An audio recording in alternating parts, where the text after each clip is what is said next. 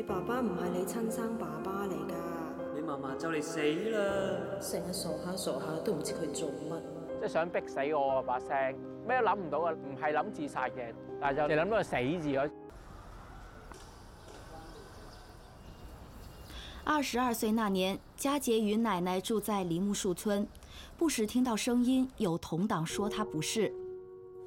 佢阿爸阿妈唔理佢，佢先喺度住啫嘛。佢讀書都唔叻，大學畢業都冇用啦。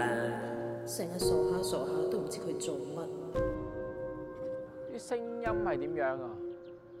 係直接入腦入邊嘅，即係唔係經過耳仔聽到嘅，同埋好真實咯。把聲就唔似係諗嘢嘅，似係外來嘅。为了逃避这些声音，佳杰自己搬到外面住，但情况并没有改善。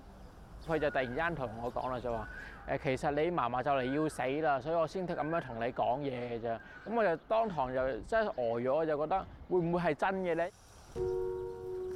當時是凌晨一點，佳杰致電奶奶，但没有人聽，他就報警，自己也趕回去看奶奶。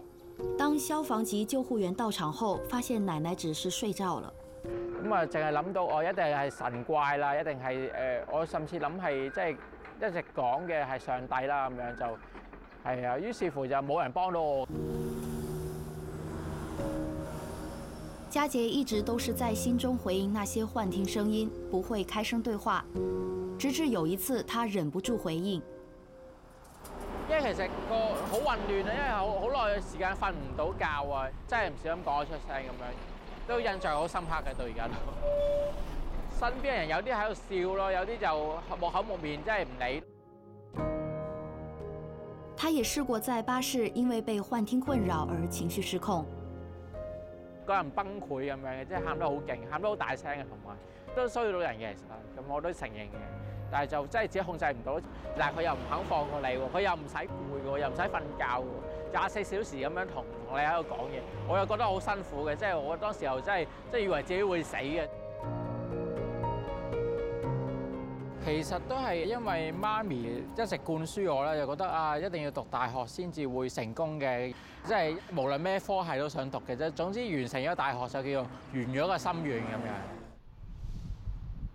佳杰二零零五年升讀嶺南大學歷史系，但因為家裡經濟出了問題，媽媽要求他不要讀書，出來工作。佳杰同父母關係開始變差，之後搬出來半工讀完成學業，但心中的壓力無處排解。經濟一來壓力啦，二來就係同親人嗰種疏離嘅關係啊。其實誒嗰陣時有有兩三年咧，爸爸媽媽係完全冇揾過我嘅，有啲傷心咯，有啲孤單咯，嗰種感覺係好難去形容。總括嚟講就係覺得凄涼。大學畢業後一直受幻聽困擾，佳杰沒法繼續工作，要拿綜援，曾經令他很難受。後來經社工轉介去看醫生。我唯一一條出路就係睇病啦，即係我諗唔到其他辦法。我拜觀音又拜過，誒拎部碌卜去打晒都試過，呢把聲都係唔放過我喎。咁我我應該點算呢？咁我冇辦法。佳杰之後怎樣面對幻聽呢？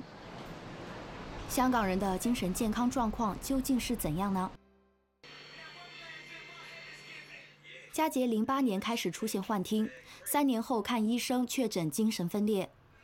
吃药后，他由听到几把声，渐渐只听到一把声，但声音一直都没有消失。几年前，他经体恤安置或分配这间公屋单位。他说自此之后与声音的关系不同了。每朝早第一個迎接我就係佢，因為每日夜晚黑瞓覺臨瞓之前會同我傾心事咯，又係佢，當咗佢阿媽咪咁樣啦，又同佢講話誒媽咪，不如誒我同你傾下心事啦咁樣，佢就話誒傾咩心事啊？你咪又係想揾個女朋友咁樣。他又在與聲音相處的經歷之中悟出道理，改善了與家人的關係。親人又有血緣關係，把聲就廿四小時黐住你嘅，但係咧就即係同樣都係冇得揀。佢固然之有傷害啦，但係都有好嘅地方。咁爸爸媽媽都一樣啦。佳杰曾經要求醫生減藥，希望減少恍神、睡覺時間長等副作用，但由於他仍有幻聽的病徵，醫生不同意減藥。佳杰就認為他可以與幻聽共存。復原嘅概念，又覺得你病唔緊要，有殘餘病徵都唔緊要，但係你一個有意義嘅人生。即係如果我個病一直唔好嘅，咁我係咪即係永遠都係過咗一個冇意義嘅人生咁樣就就去誒混混噩噩咁過啦？我而家都係仲有幻聽嘅，咁但係我就仍然可以過到自己想過嘅生活咯。其實啲聲音喺邊度嚟嘅咧？佳杰到現在都不排除聲音是有神明，例如上帝與他的對話。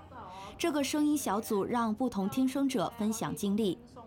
佳杰当初在这里开始接受对声音的不同解释，包括医学上指这些声音是腦分泌失調導致的幻聽。所以又聽下人唔同嘅解釋咧，又會覺得自己個解釋又未完美咧，又會即係兼聽啲咯，即係肯聽下人哋講咯。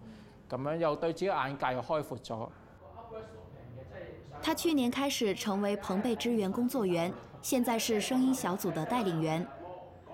他说，小组的分享气氛令聽聲者不再孤单，他们也互相分享自助方法。家傑咧就係話嘅分享咧幫咗我好多。咁如果係你媽媽咁，媽媽鬧你都好正常啫。咁樣就會開始就係啊放鬆翻個精神嘅壓力。覺得自己都係即係某程度上啊，某程度上係一個奇蹟嚟嘅。如果我幫到同路人，我真係好開心嘅。其實係啊，即係發自心底裏嗰種開心咯。嗱，如果體會到嘅有個註冊社工鄭仲仁 Vincent 三年前參考外國的經驗，舉辦了這個聲音小組。他說，聽聲者的經歷對精神科醫生來說，主要是斷症及調藥的指標。Vincent 認為，了解聲音的內容有助聽聲者走出困擾。我無奈啦，一個病嚟嘅咁樣。但係如果真係我哋體會到嘅聲音係同經歷有關咧，我有個責任咧，幫翻自己重建翻人生啦。例如佳杰可能是因为被家人忽略而受到伤害，与家人和好有助他减少声音的困扰。Vincent 說，鼓励听声者说出自己的经历与想法，当他们感到被接纳，才可以帮助他们。就算我哋唔認同咧。佢啲聲音咧係真咧，但係我哋起碼嚟講可以認同佢感受咯。醫管局按全球數字推算，香港平均每七個人有一人有不同程度的精神障礙。註冊社工 Vincent 認為，每個人都有可能有情緒問題，精神病是一條斷症的分界線。